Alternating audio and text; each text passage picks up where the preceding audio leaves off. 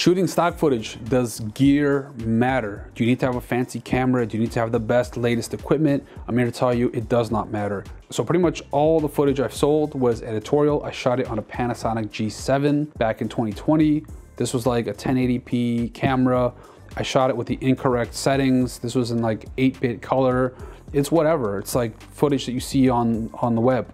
Nothing fancy, it looks okay, but it's nothing that you see in a movie. And I've generated over $13,000 selling this type of footage shot with this cheap camera versus I had footage that I shot with my new 4K 10-bit color Panasonic G9. You know, I had the ND filter, I had it looking all clean and cinematic and nice. I barely sold any of those clips. I also invested in a DJI uh, Mavic 2 Pro drone.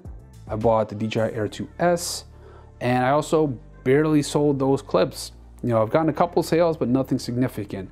I've made probably like $12,000 plus with just the G7 footage and clips that I shot with my iPhone. So regarding editorial stock footage, gear does not matter. When it comes to commercial footage, when you're trying to shoot something that's used for higher value productions, looks a little bit more clean, more crisp, the lighting is more polished, you've got good looking actors, just looks a little bit more, more prepared.